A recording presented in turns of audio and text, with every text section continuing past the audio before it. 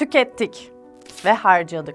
Binlerce hektar ormanımız vardı mesela. Temiz oksijen alabiliyordu bizden öncekiler. Şöyle nefesini çektiklerinde oh be diyebiliyorlardı. Şimdi dünyanın birçok yerinde hava kirliliğinden dolayı maske takıyor insanlar. Güzelim hayvanlar vardı. Asya fili, İrlanda geyiği, fil dişi gagalı ağaç kakan, Hazar kaplanı, moa ve dahası. Kimi kürkü için, kimi dişi, kimi tırnakları, kimi ise sadece zevkten avlana avlana tükendi. Bazen de yaşayacakları doğal ortamları kalmadı. Son 250 yılda 600'e yakın bitki türünün nesli tükendi. 1 milyon hayvan ve bitki tehdit altında. İklim değişikliği ve hızlı nüfus artışının doğurduğu sorunlar sebebiyle temiz su kaynaklarının hızla azalması sonucu 2050'de dünya nüfusunun yaklaşık yarısının susuzluk riskiyle karşı karşıya kalabileceği uyarısı yapılıyor. Bir tarafta insan eliyle hiç edilen bunca yaşam unsuru, diğer tarafta hastalıklar. Baya baya tükendik ve tükettik. Sabrımıza, vicdanımıza, huzurumuza kadar hepsi tükendi.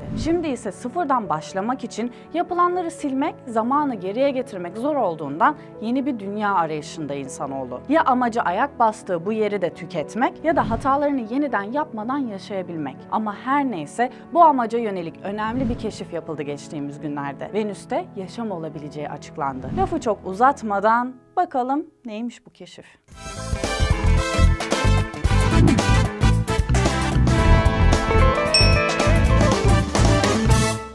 İlk önce isterseniz belki bizim değil ama bizim torunlarımızın torunlarının belki de yeni evi olabilecek Venüs'ten bahsedelim. Zühre, Çolpan ya da Çoban yıldızı olarak da biliniyor. Görülebildiği zaman gökyüzünün aydan sonra en parlak cismi. Ancak her güzel şey gibi onu da az görebiliyoruz. Yörüngesi dünyaya göre güneşe daha yakın olduğu ve konumundan dolayı yeryüzünde sadece güneş doğmadan önce ya da battıktan sonra görülebiliyor. Erkekler Mars'tan, kadınlar Venüs'ten geliyor deyiminin de bir anlamı var. Adını eski Roma tanrıçası Venüs yani eski Yunan mitolojisindeki Afrodit'ten alıyor parlaklığı ve güzelliği nedeniyle ve bir tanrıçanın adını taşıyan tek gezegen. Güneş sisteminde güneşe yakınlık bakımından ikinci sırada ancak sıcaklığı güneşe daha yakın olan Merkür'den daha fazla. Bunun nedeni de atmosfer yapısının güneş ışınlarının dışarıya çıkmasına izin vermeyişi. Isısından dolayı aldığı kızıl rengiyle sülfürik asit damlacıkları içeren bulutların arkasından uzaktan bakınca çok güzel gözükse de yakından bakınca Dante'nin cehenneminden bile daha kötü. Yüzey sıcaklığı 400 dereceyi geçiyor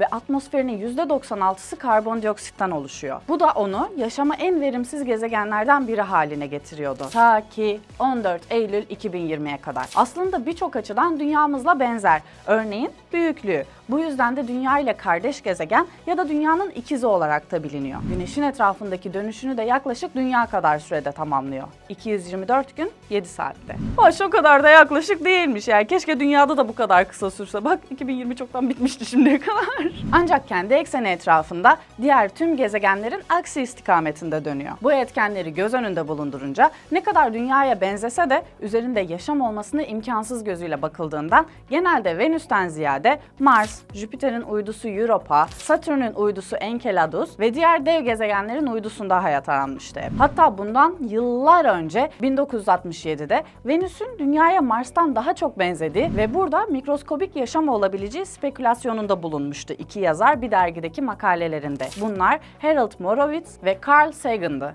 ancak pek de dikkate alınmadılar. Fakat işte yıllar sonra 14 Eylül'de açıklanan bir makaleyle bilim insanları oldukça heyecanlandı. Morowitz ve Sagan'ın öngörüleri neredeyse doğrulandı. İngiltere'de Cardiff Üniversitesi'nde bir grup uluslararası gökbilimciden oluşan ekip kızıl gezegende fosfin gazı tespit ettiklerini açıkladı. Fosfin ilk olarak Hawaii'deki James Clerk Maxwell teleskobu ile tespit edilmişti. Sonra Şili'deki Büyük Milimetre Teleskobu tarafından bu doğrulandı ve Cardiff Üniversitesi'ndeki Profesör Jane Greaves liderliğindeki bu ekip bu gazın nereden geldiğini anlayabilmek için bir dizi çalışma yürüttü. Peki fosfinin bulunması neden bu kadar heyecanlandırdı tüm bilim dünyasını? Asıl oraya gelelim. Fosfin, hidrojen ve fosfor atomlarından oluşuyor ve oksijen olmadan yaşayabilen mikrop türleri tarafından üretiliyor. Bizler gibi oksijenle solunum yapan canlılar için oldukça tehlikeli aslında.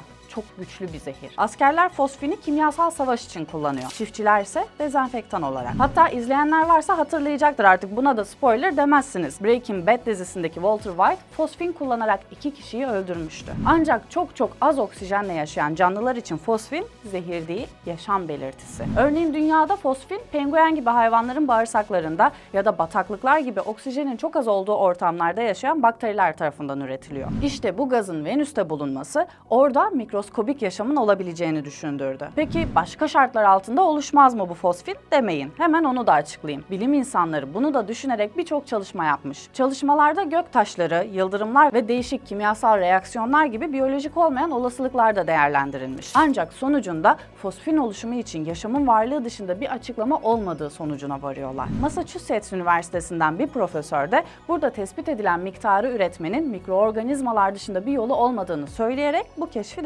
destekledi. Elbette daha az miktardaki fosfin başka doğa olayları ya da biyolojik olmayan nedenlerle oluşabilir. Ancak Venüs'te bulunan miktar oldukça fazla. Üstelik fosfinin kırılgan yapısı da bunun yıllar önce oluşup bulutlarda depolandığı ihtimalini ortadan kaldırıyor. Zira fosfin çok dengeli olmayan ve kolayca parçalanabilen bir molekül. Durmadan parçalandığı için yeniden üretilmiş olması gerekiyor ve bu keşifte bulunan fosfin de en basit tabiriyle taze fosfin. O yüzden sadece geçmişte değil, şu anda da yaşam olabileceğine dair bir keşif olduğu için oldukça önemli. Daha önce yapılan çalışmalarda NASA'nın 1978'de Venüs'e gönderdiği Pioneer keşif uydusu gezegenin %80'ini kapsayan bir yüzey okyanusunun belirtilerine rastlamıştı. Bu da gezegende geçmişte büyük miktarda su bulunduğunun kanıtı niteliğindeydi. E su varsa hayat da vardı demek ki demişlerdi. Ancak zamanla Venüs'ün yaşam şartları da değişti. O yüzden ekibin başındaki Greaves, bulutların organizmalarla dolu olması gibi uç senaryoların çoktan elenmiş olduğunu sanıyordum.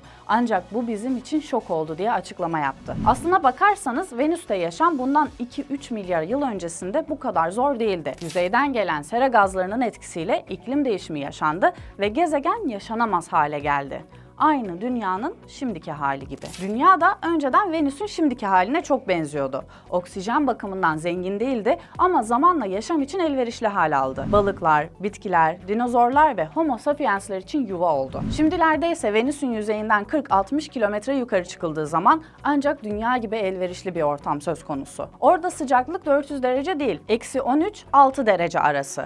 Bir atmosfer basınç var. Zaten fosfin de Venüs'ün bu zehirli atmosferinin üst tabakasında hakkındaki incelemeler sonucu bulundu. Önceden bu tabaka için havada yüzen kent kurma spekülasyonları da yapılmıştı. Ama yanlış anlaşılmasın bu demek değil ki Venüs'te yaşam bulundu. Bu keşif yaşama ait olduğu düşünülen potansiyel bir izin keşfi. Bunun üzerine daha uzun süre araştırma yapılması gerekiyor. NASA son yıllarda Venüs'teki araştırmalar için maddi destek sağlamıyordu. Bununla birlikte NASA Başkanı Venüs'e öncelik verme vakti geldi diye tweet atarak Şubat ayında bir uzay aracına maddi destek sağlayacaklarını açıkladı. Avrupa Uzay Ajansı ve Rus Uzay Ajansı da önümüzdeki zamanda Venüs'e sonda göndermeyi planlıyor. Bazı araştırmacılar fosfin gazının gezegenin açıklanamayan atmosferik veya jeolojik süreçlerinden kaynaklanabileceğini öne sürerek Venüs'te yaşam olabileceğine dair hipotezi kabul etmese de NASA veya diğer uzay ajanslarından pozitif veri gelirse insanlığın evrene bakış açısı kökünden değişebilir. Belki dünyadan başka yerde yaşama şansı bizim olmasa da